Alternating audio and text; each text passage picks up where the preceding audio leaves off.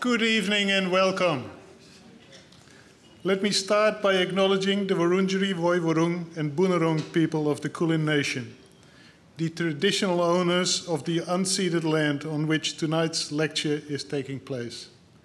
And I pay my respects to their elders past and present.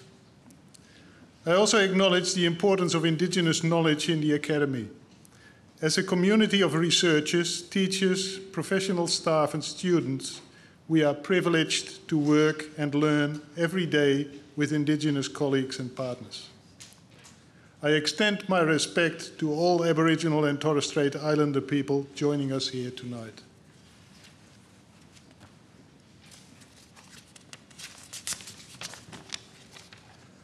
It is my great pleasure to welcome you all to the 2023 Griffin Economic History Public Lecture.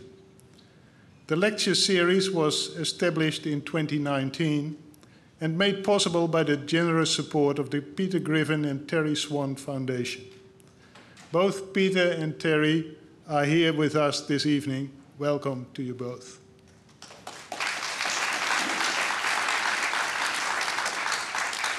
And while I have the opportunity, happy birthday, Peter.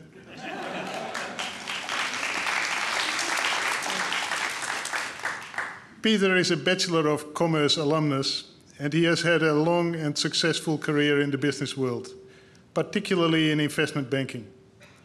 In 2008, he was honored as a member of the Order of Australia for his service to the Australian community through support for medical research, the arts, and charitable organizations. Peter is passionate about economic history and is keen that students who leave the University of Melbourne not just with a good understanding of business, economics, accounting, and finance, but also a profound awareness of recurrent mistakes made by governments, industry, and the banking sector. The Griffin Economic History Lecture features cutting edge economic history research that informs business and economics education here at the University of Melbourne. Tonight's lecture is delivered by the Griffin Chair in Economic History, made possible by the generous funding from the Peter Griffin and Terry Swan Foundation. Peter and Terry, we are ever so grateful for your crucial ongoing support in bringing economic history back to Melbourne. Let me now invite my colleague, Professor David Harris, Head of the Department of Economics, to formally introduce our distinguished speaker tonight. Thank you.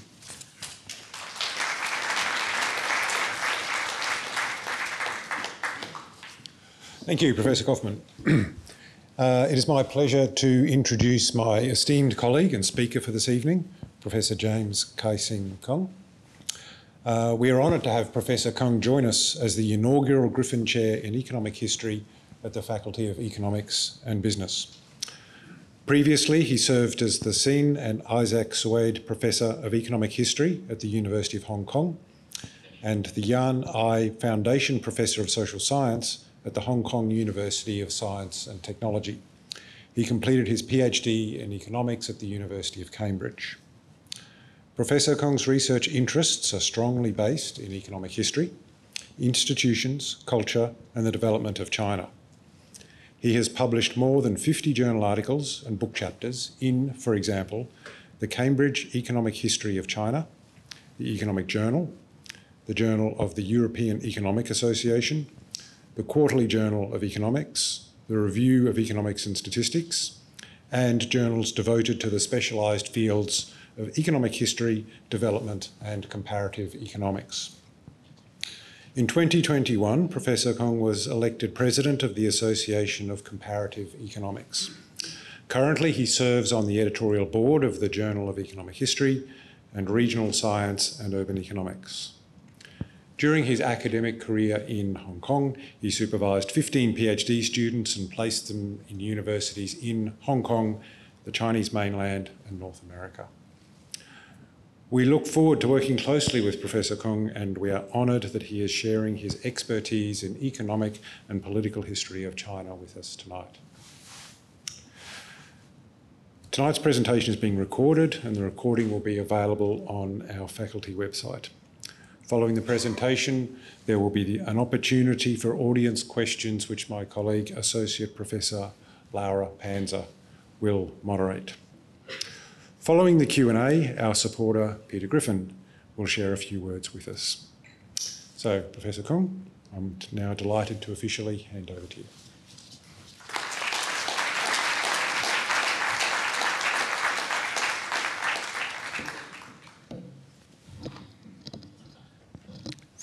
Thank you, David. I would like to express my deepest gratitude to um, the Peter Griffin and Terry Swan Foundation for the generous support of economic history and to colleagues at the University of Melbourne for giving me the honor to be the inaugural chair. So this evening's topic is about the historic rise of the Chinese Communist Party. So the adjective historic is being um, uh, hidden in the title just to make it more general. So the historic rise of the Chinese Communist Party, hereafter C, uh, CCP, is one of the most momentous events of the 20th century, uh, which shaped the fortunes of an enormous number of people, both inside China and elsewhere.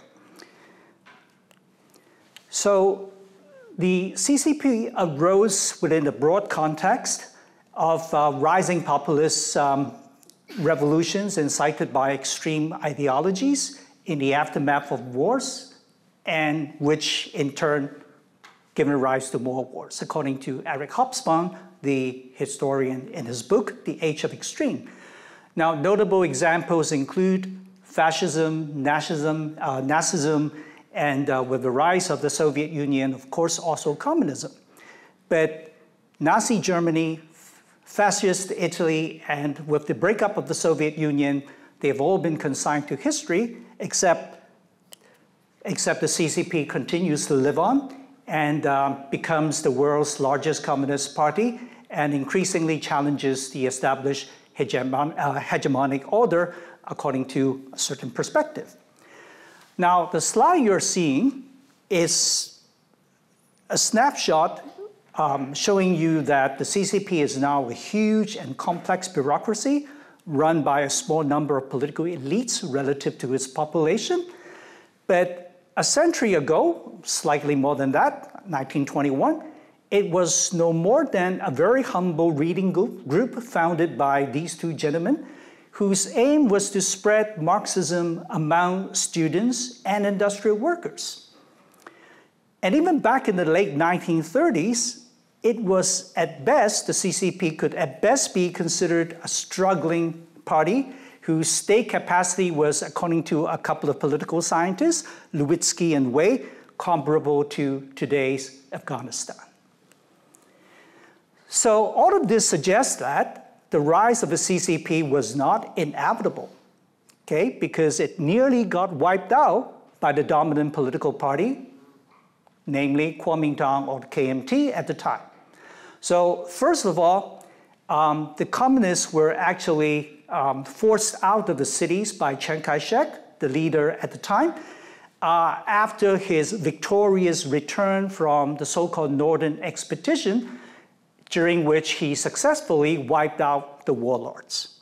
Okay, so the CCP were forced to the rural areas, but to their credit, they expediently established a number of revolutionary bases in the several provinces in South China.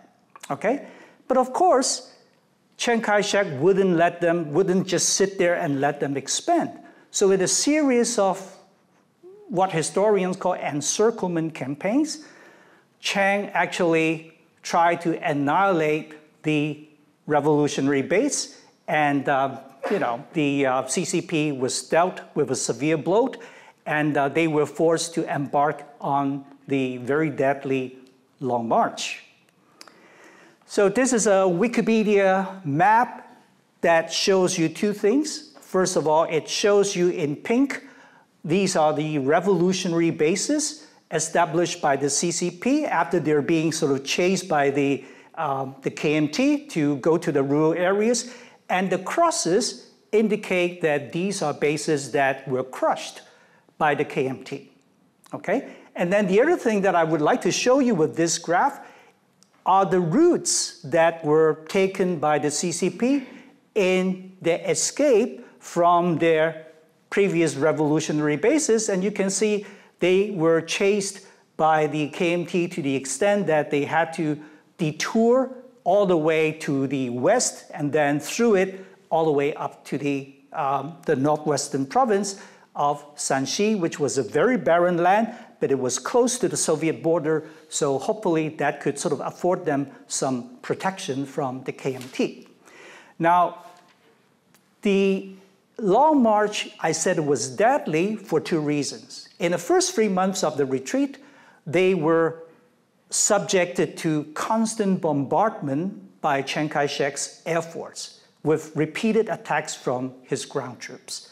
So he, Chiang, was, Chiang managed to devastate like half of the CCP army, so le leaving them in extremely low morale by the time they reach um, a place in the southwestern part of China from which they muster their courage and try to escape the KMT and you know moves all the way up west. So this barren land uh, called Yan'an, which became the communist revolutionary base for the next 12 years between 1935 and 1947. So they established, they mustered their, their effort there and they tried to you know, grow their membership and try to return. But, so this place, a historian recently wrote a book, a very eminent Joseph Esherick, uh, called the Accidental Holy Land. So it was not planned, but they were forced to go there, and it became the revolutionary base for the CCP during a very important period of time. Now, however, uh, by the time for the surviving ones, they, the membership was hugely decimated. 90% of the members got killed. Many of them were killed by the KMT, but for the surviving ones, the long march was a very difficult journey because, you know, many of them died of physical exertion, others died of starvation. So by the time they made there, you know, they make it there, it was like only 10% of the people remain. So 90% of the membership were decimated. So that raises the question. So how on earth could the CCP actually grow from this very small base of membership. Fast forward in just four years' time, so beginning from 1937, membership actually increased by a massive 20 times, okay, in a mere four years' time. So what happened in 1937? So 1937 marked the time of a full-fledged invasion by the Japanese army. Okay, on the pretext of searching for a lost soldier, they invaded China. Historians have argued that this is not an accident because the Japanese already occupied northeastern China, the three provinces there, collectively known as Manchuria, for six years. So this was a plot that eventually transpired into greater aggression. Now, the paramount leader, Chairman Mao, Chairman Mao Zedong, had a theory.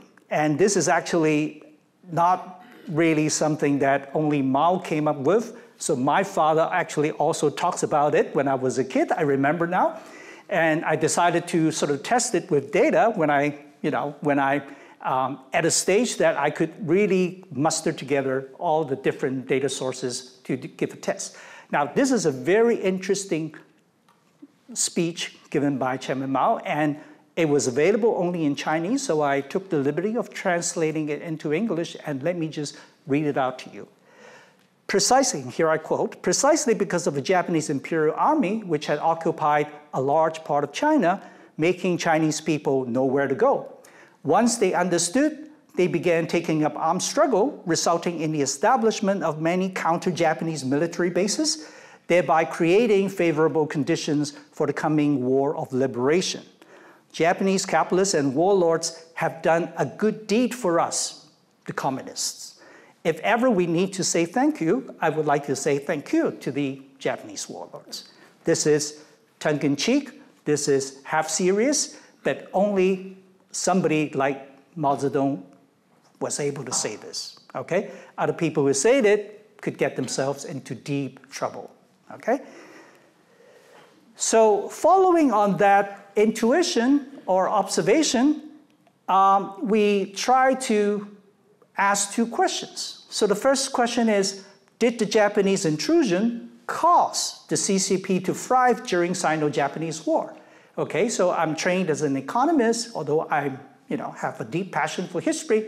We need, you know, we're judged by our profession. We need to be able to show that it is X causing Y and not just X being correlated with Y. Okay, so this is what we are trying to do in this project.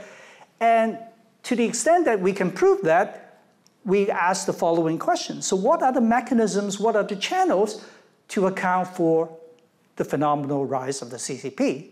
Now, time permitting, I would also want to take you through some interesting results showing you how this, um, how this whole idea of the rise of nationalism gets to persist to this day. Okay? Now, let me now expand a little bit on how external aggression leads to war suffering and how war suffering leads to the rise of nationalism. This chain causal effect so Japanese invasion came as a shock to the entire nation.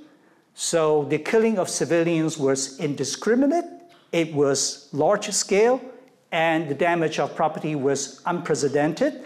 So altogether, this heightened the peasants' concern for survival. So here are some statistics as documented by the authorities from various sides. So you could look at the rampant killing of civilians amounted to 7.5 million, which made up 1.4% of the Chinese population in 1934.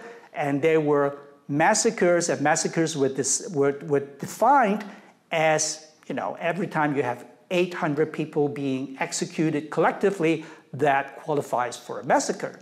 And many houses, or as many as 8.8 million houses, got burned down. So these are images that speak volume, that speak very powerful to the statistics that I just briefly show you. Now, war suffering not only refers to, you know, killing people, but also to very profound humiliation.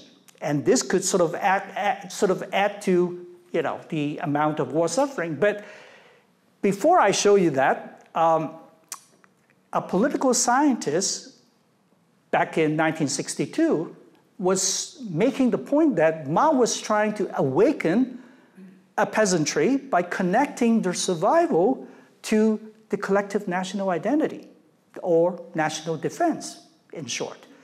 Now, in his narrative, which I find very credible and powerful, uh, Professor Chalmers Johnson argued that prior to the war, the peasant was absorbed in local matters and had only the dim sense of China as a nation. Okay? They know what China was, but they don't care about this collective national identity. Now, with the external aggression, the Chinese peasant realized that his own peril was also China's peril. Okay? So those who survived concluded that simply the only hope lay in resistance, and the communists were there to help them.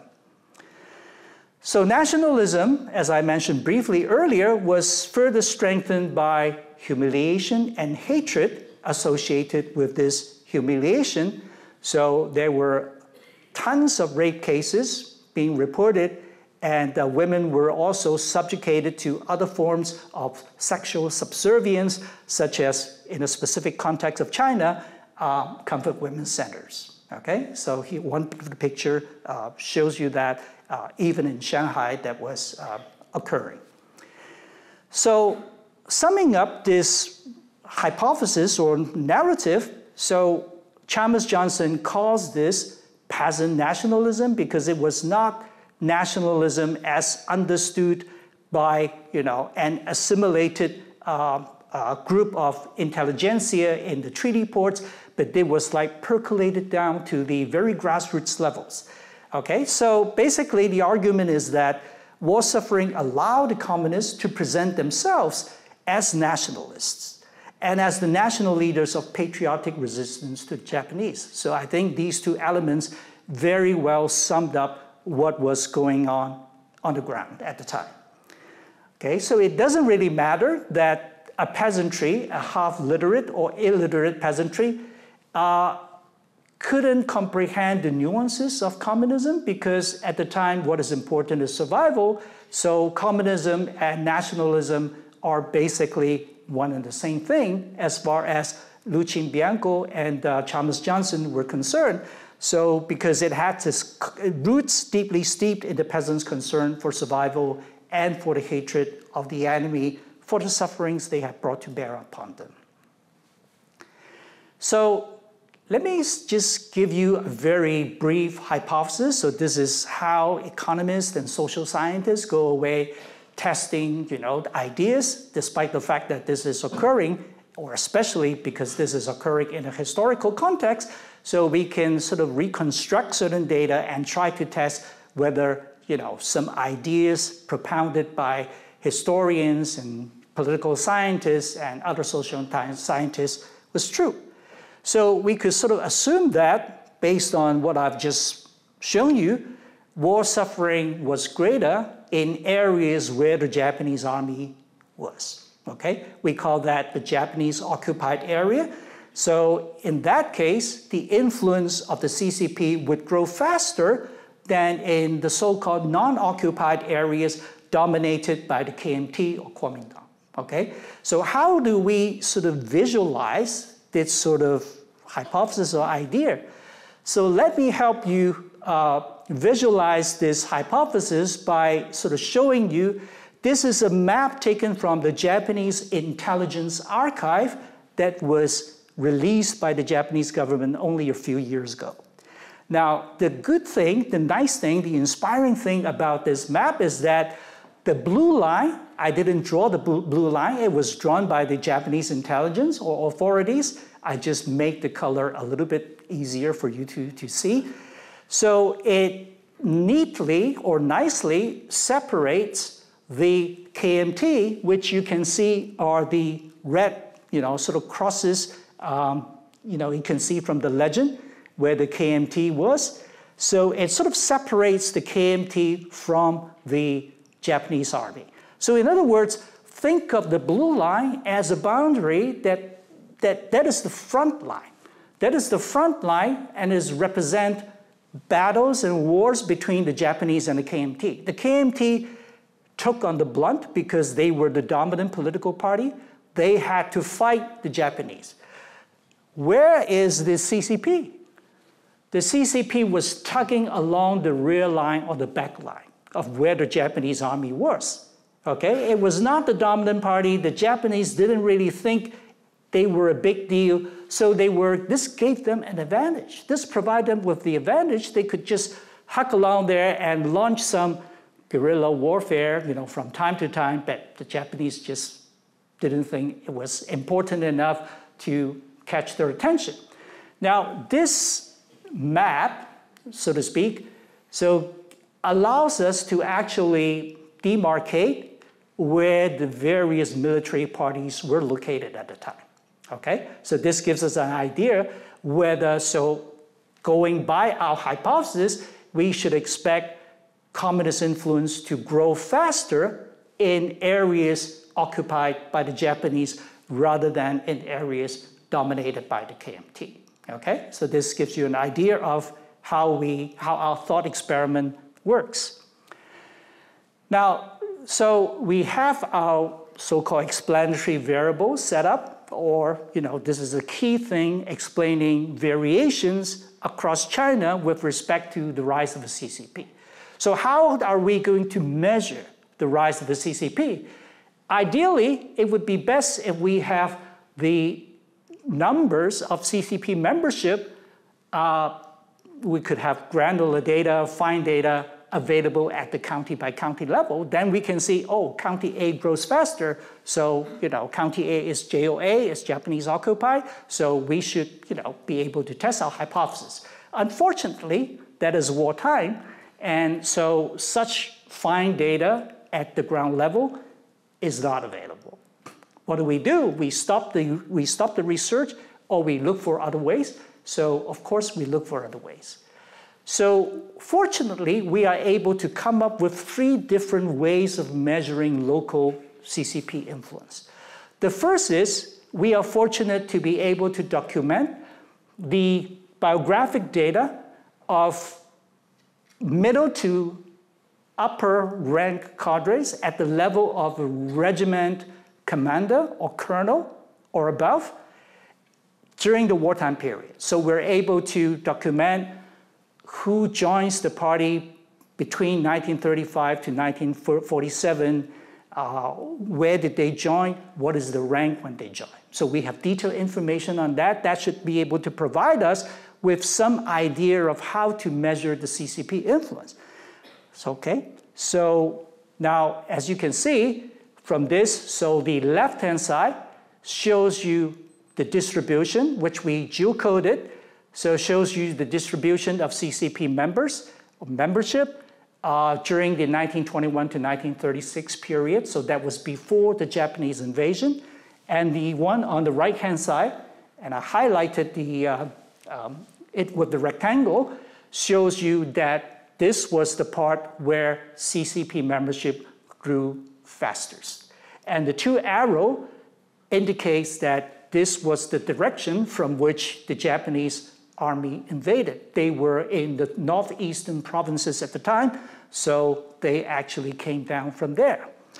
Now, using this variable is good, but it is also underestimating because it doesn't say anything about the four lower ranks, okay? Because below the colonel, you have three lower ranks, plus if you include the foot soldiers, that would be four lower ranks, okay?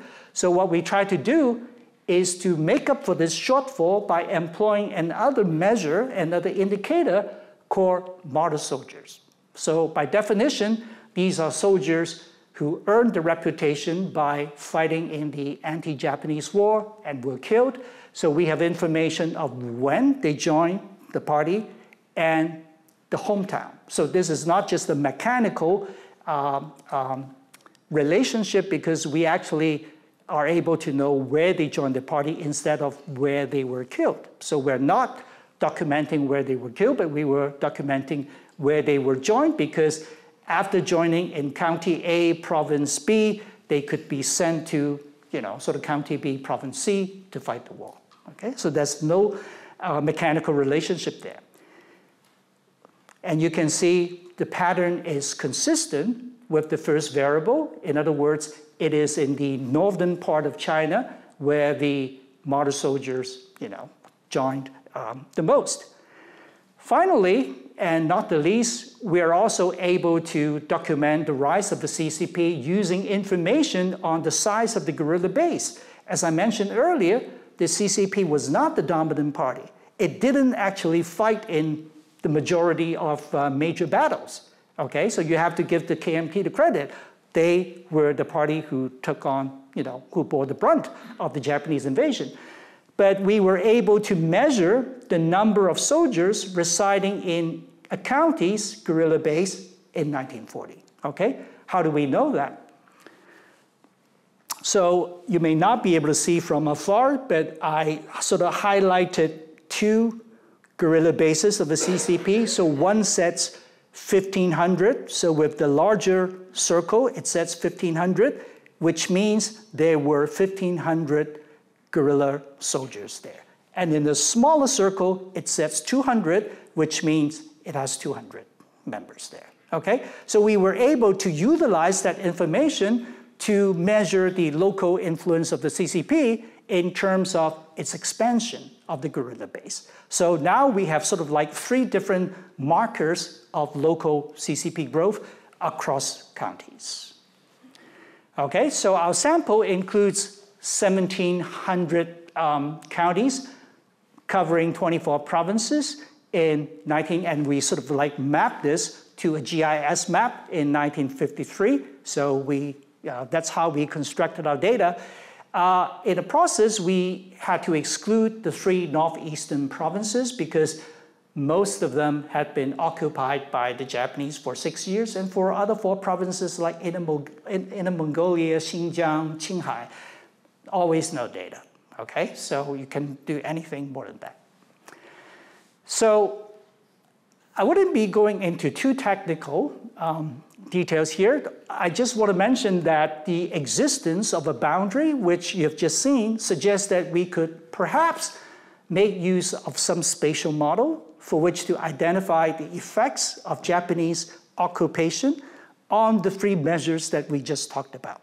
Okay, so if you look at the equation, which for some of you might um, um, might not be aesthetically too pleasant, uh, all you need to do is to look at, okay, so it's the occupied area in red on the right-hand side. This will be the key variable or factor to account for the various dependent variables that I just sort of walk you through, okay? So the rest you just, you know, have to trust me that it's all um, being taken care of. This is how the boundary looks like if you geocode it, okay? And the, the blue area represents the 100 kilometers away from the, um, from the boundary. So why 100 kilometers? Because the average county size in North China at the time, the radius is about 50 kilometers. So the diameter is about 100 kilometers. So you could sort of use 100 kilometers as a benchmark, but you know, computer packages make things so easy nowadays, so you could sort of use 100, 200, 300, 400, and so forth to check how robust your results are. Now, this is a fun part or not so fun part. So instead of showing you a very ugly table full of you know, numbers, I sort of transform that all into graphs. Okay, so how do we read this? The, so there are these three variables there, the CCP cadres, the CCP martyr soldiers, the size of the guerrilla base. Those are the things I talked about as markers of the CCP local influence. So the, the, the thick bars represent the coefficients. These are coefficients that we you know, that we obtain as a result of running the regression that I just showed you, the thing that some of you may actually refuse to see, but this is the result. And the thin line is the confidence interval. So the confidence interval, if it, if it goes through the zero, the zero value, if it you know, goes further down, which means this is not significant. Now, eyeballing these figures, you can readily actually see that the confidence interval, the thin line, actually never touches zero. So it could be assumed safely that, oh, this is significant. In other words, the Japanese occupied area does have a significant effect on the density of the CCP cadres, on the density of the martyr soldiers, and on the size of the guerrilla base. So we can sort of based on these results to suggest that ah, we are able to show that the Japanese invasion does have a causal effect on the local rise of the CCP. Now, the next question, in the, in the interest of time, I want to rush things a little bit.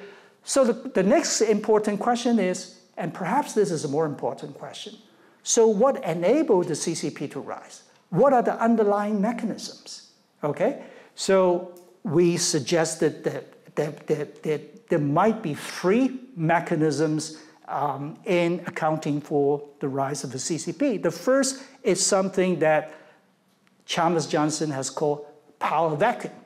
And what does he mean by that? So the Japanese army left the so-called power vacuum after easily terrorized the Chinese villages.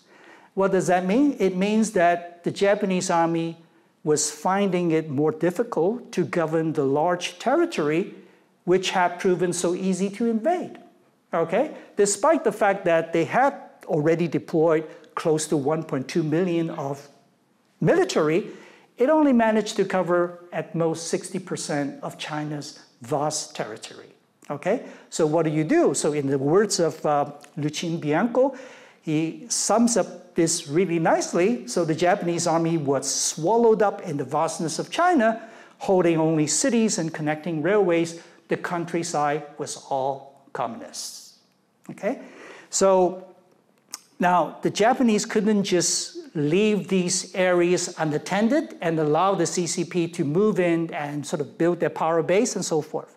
So what they do is to set up puppet troops. So the Japanese set up the Manchurian puppet regime, okay?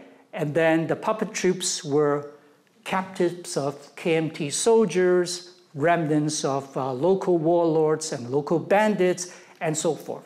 Now, we conjecture that, so we all know about the puppet troops, but nobody has actually done research in terms of showing how the communists were actually taking advantage of this, you know, sort of fake regime. So we collected the data and we sort of conjectured that the CCP would actually try to capitalize on the weaker military capacity of the puppet troops. First, they don't have the incentives to fight. Second, they were not as strong militarily as the Japanese army. Okay, so it would be easy, it would be easier, it would be wiser for the CCP to focus their advancement in counties of the JOA, but then these were occupied by the puppet troops. So what we do now is to divide the JOA, the Japanese occupied area, into two parts. So one part would be the Japanese army, but the other part would be the puppet troops. We have very good numbers on where it was occupied by which. And in this graph, you can see that the blue color represents counties occupied by the real Japanese army, and then the red represents the puppet troops. Now, if you can still see it, see the confidence level, the confidence level in the blue, in the blue thing actually is getting very close to zero, if not exceeding zero. This is suggesting that there is no significant relationship between Japanese occupied areas occupied by the real Japanese army and CCP advancement. In other words, the CCP wasn't making a lot of advancement in the JOA counties occupied by the Japanese army. In contrast, in the red bar, you could see that the thin confidence level interval is actually far above the zero value. So this suggests that the CCP was actually making some headways in the JOA, you know, dominated by the puppet troops. Okay, and then the green thing, you don't have to worry about that, but if you are concerned, this is, you know, sort of the first difference between the blue and the pink, um, just to show that, you know, the difference itself is also significant. Now the second, the second mechanism through which the CCP was, you know, making the advancement has been suggested by many political scientists, and that's local party building. So the CCP is well known for its ability to build organizations, especially at the grassroots level. Okay? So at the grassroots level, there were three different degrees to which the CCP had actually built that. So the smallest one was the party group, which consists of fewer than 100 people, and then it becomes larger, the party chapter or party branch, and then the largest would be the County Party Committee. So when you reach the County Party Committee, you know, Mao would be sending somebody from Yan'an to help supervise and guide your establishment. So to test the idea that local party building was stronger in the Japanese occupied area, technically what we do is to interact whether a county had established a party committee. So we give the value to a county we give the value of one to a county with a party, you know, with a county party committee, and the value of zero to a county without a party committee. Okay, and we sort of throw in the uh, regressions again, and then we look at the result. I apologize here because of the interaction term. I am unable to show you the more aesthetically pleasing graphs, but instead, you know, you have to look at the numbers, but all you have to do is to look at the row in red. Okay, so what this really tells you is that the, the effect of local party building was significant. So if you look at the second row, county party building, it's got a lot of stars and more stars, more the better. Okay, more stars mean it's very significantly related to each other. And if you move down one row, it tells you that county party committee has a larger effect in counties occupied by the Japanese. Sort of um, basically uh, confirming our hypothesis that uh, party building, local party building is important, and it is especially important in counties occupied by the Japanese. Finally, I want to talk about this um, war suffering, which is the main theme, which is the main you know, mechanism underlying the uh, rise of the CCP. So it's an overarching concept, war suffering. So how do we test it empirically? In order to do that, we decompose war suffering into two dimensions. One is struggling for survival. How do we measure struggling for survival? We use the number of civilians killed in each county to serve as a proxy for the degree of suffering. And then we could also arguably measure humiliation and hatred by using the number of rape cases as it occurred in a county. Okay? So we do that again by conducting a heterogeneity test by interacting the JOA with these two proxies respectively. Again, apologies for this um, ugly table, but you can see here is that the number of civilians killed, um, pardon me for the typo, had no effect whatsoever on the rise of the CCP. Okay, in other words, it is only, so if you look at the row in red, it is only in the Japanese occupied area that the effect of the number of civilians killed actually makes a difference. Okay? And the same thing with rape cases, which is not significant uh, by itself, but it's very meaningful and significant in the context of Japanese occupation. Okay, so um, how many? How much time do I have?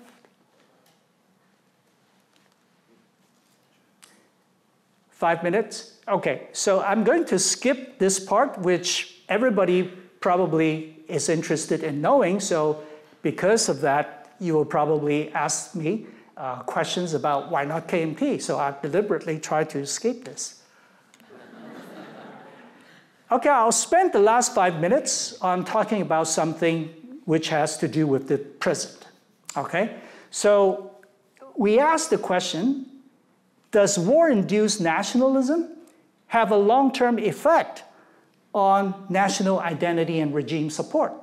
So we are interested in national identity, we are interested in regime support, and we want to know whether this war-induced nationalist feeling that occurred seven decades, eight decades ago, continue to bear upon the psychology of the Chinese people. Now, let me show you some results instead of going through the theory. So, the first one is to the left hand side, the blue bar. Okay, so this is a measure of the scores of national sentiments. How do we measure it? We measured it based on a number of questions, but let me give you two interesting examples of that. So the first is the question asked military force should be applied to unify Taiwan, should conditions permit. Respondents were given a five point scale, so you indicate whether you think it should be zero or five or somewhere in between. Now, the second question is it is unrealistically to expect the Western hegemony led by the US to truly tolerate China's rise to become a major partner. You know, you agree, five, you disagree, totally, zero, somewhere in between. So these are examples of how we construct the scores of national sentiments. And you can see that this is everywhere above zero. It is positive and then the confidence interval is nowhere near the zero value line. Okay, so they're suggesting that res residents who are currently living in areas that were formerly JOAs, they had disproportionately stronger nationalist sentiments compared to the counterparts today. Okay? So something must be happening. There must be some intergenerational transmission. So this is a sort of topic that we need to study um, more. But this is the results. In other words, nationalism induced during the war has some long-term persistent effects over time. Now, one question doesn't, you know, doesn't convince people, including myself. So we look at the other question. So this is taken from the Asian Barometer survey, asking the Chinese respondents, to what extent do you hold a positive perception towards Japan? And lo and behold, the answer is systematically negative and significant for those residents who lived in formerly JOA areas. Okay? It is, you know, below the zero line. So the third and the, uh, um, the third and the fourth question um, asked about consumers' attitude towards Japanese products and brands proxy by total imports, value, uh, and the number of sushi restaurants. Of course, okay, granted, not sushi restaurants in China are probably not run by the Japanese, but it's got the symbol, right? So you can see that the results are also negative and significant, although not as negative and significant as the dislike towards the Japanese. But residents living in formerly JOAs, they imported less, they bought less Japanese products, and then they consume less Japanese food. Moving on to regime support. So in 2012, and for a few years, the paramount leader Xi Jinping talked about this Chinese dream, how China should, you know, rescue itself from the hundred years of humiliating history and all that. And we tried to see whether residents living in the formerly JOA were more likely to go to the search engine, the Chinese search engine, Baidu, and to search for this particular term. And then because we have, you know, IP address at the prefecture level, we're able to, you know, sort of um, do the trick.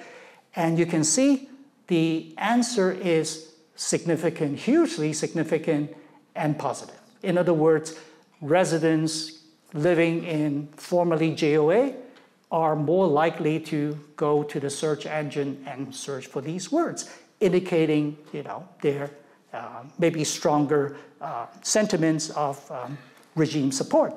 So the last question um, basically also echoes the fourth one, i.e., to what extent do you trust the central government in China? And you can see this is also turning out to be positive and significant. Wrapping up, there are two points to take away. So I hope to be able um, to convince you that the rise of the CCP is one of the most momentous events of the 20th century, and it shapes, you know, the um, fortunes of uh, many people, and it continues to be shaping the fortunes of many people. Now, the second point, and which is perhaps the more important point, is that uh, external regression led to the genesis of a very strong nationalist sentiment in wartime. And I was trying to convince you, but I haven't done enough research to show you that there is a reason if you think many Chinese are behaving in a very nationalistic manner, I want to say that there's a reason for that. And um, to some extent, there is this strong linkage between nationalism created in wartime situation and nationalism today. Okay? Thank you very much for your patience.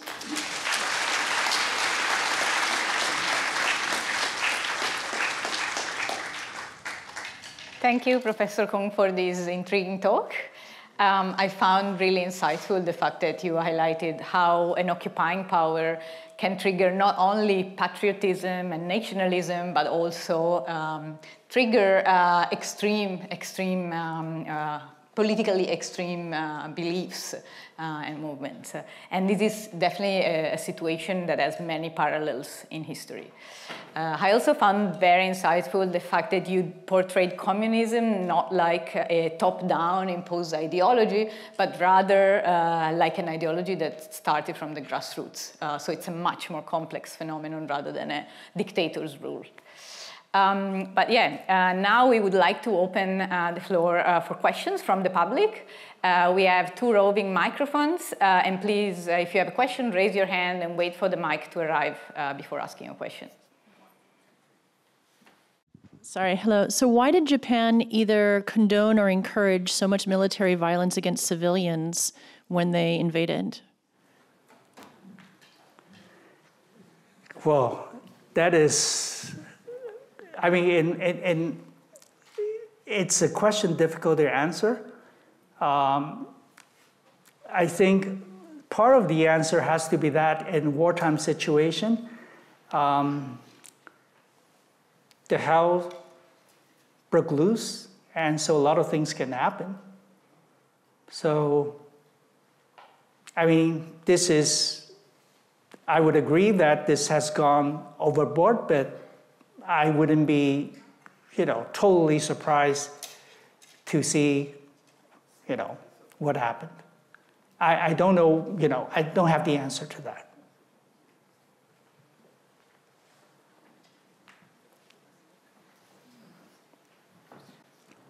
Uh, thank you for the presentation. Uh, two comments, if I may please, and both questions. Uh, the first that struck me was that you're talking about the occupied areas where the CCP was particularly dominant in the 1940s. Uh, we know that in in Europe, in, in Greece, in Italy, and in France, the a key player in all of the resistance forces there was the Communist Party. So, is it perhaps that the most effective organisers in an occupied area are, are Leninist parties at this stage because of the the internal discipline, often vicious discipline that they, they had. So, so, that's the first. So, so, so these were areas occupied by the Japanese, not by the CCP. So the yes, CCP sorry, was a, no, but yeah. you're saying that the CCP was the most effective in areas that were occupied by the Japanese. So the point I'm making is that the resistance forces in Greece and in Italy and in France were also dominated by communist parties. So, is there something to do with the, the organisation structure of the parties that has that effectiveness? My, my second question, which is coming to your, your last um, conclusions about current day attitudes, um, the south of China, which seem to have fewer of the nationalistic traits that you talked about, is also much more prosperous than the north of China.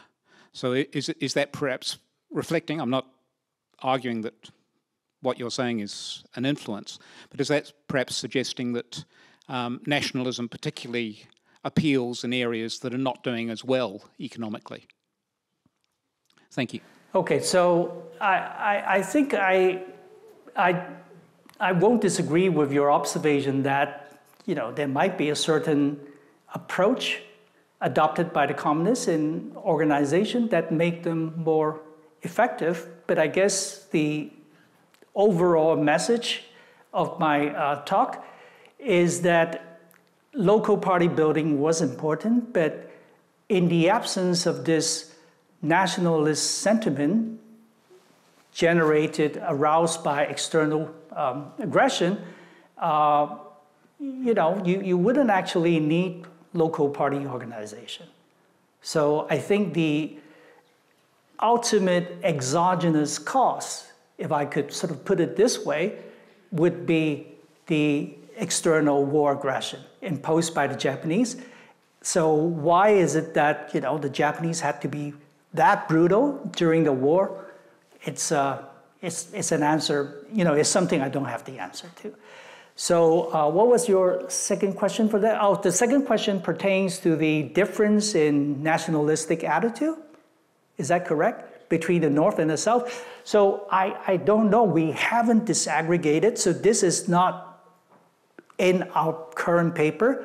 So we have collected tons of data from Weibo, and we're trying to do some sort of really serious analysis of nationalist sentiments. And there we might be able to control for where they are. Okay, so but here we didn't make any distinction between um, the North and the South. So uh, in fact, you know, if we are correct, then the nationalist sentiment displayed by the Chinese, we expect that to be stronger in the North as opposed to the South. You know, that's the underlying message because the Japanese occupied area or happen to be in the South. Yeah. Um, just amazed at the amount of research that's gone into this.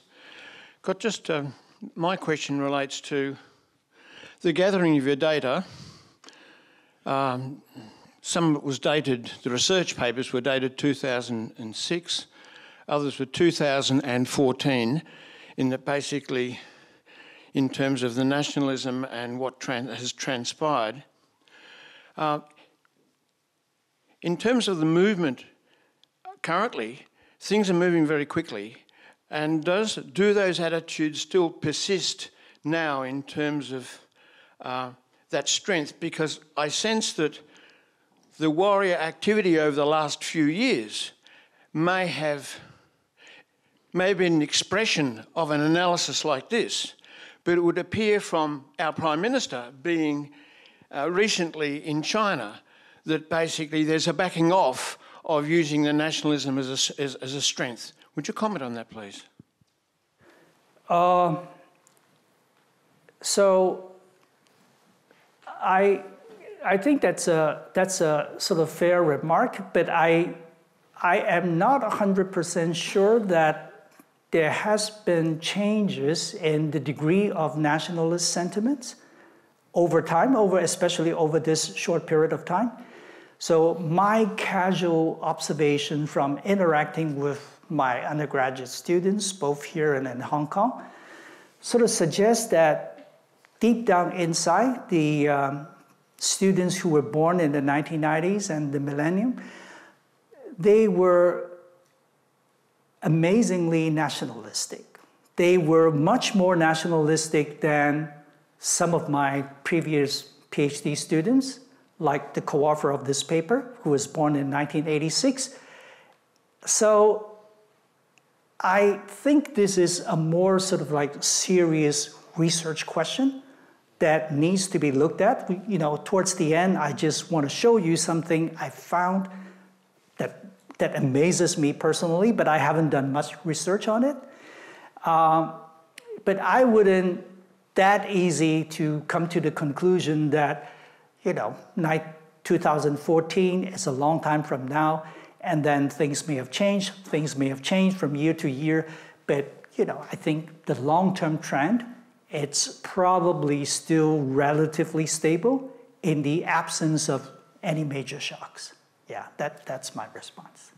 Thank you, James. Thank you. This is how much, unfortunately, we have time for in terms of question. Uh, and I would like to highlight now that the faculty uh, acknowledges, gratefully acknowledges the contribution that the Peter Griffin and Terry Swan Foundation have done to economic history. And I would like now to welcome to the podium Peter Griffin to share a few words with us.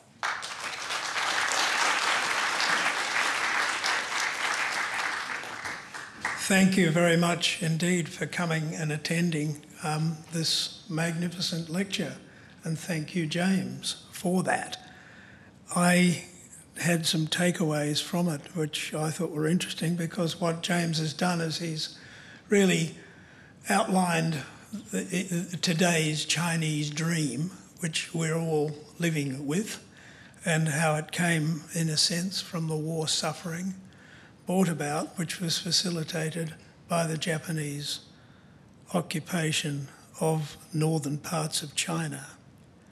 And so, what we've really learnt about is war induced nationalism, and it makes you think about what might happen as a result of what's going on with the current wars at the moment. But thank you very much indeed, James, for coming to give us the lecture today. And I wanted to thank the Dean and uh, you guys for putting up with me having a, uh, a an economic history um, lecture reintroduced and a facility reintroduced to the university. Thank you very much indeed.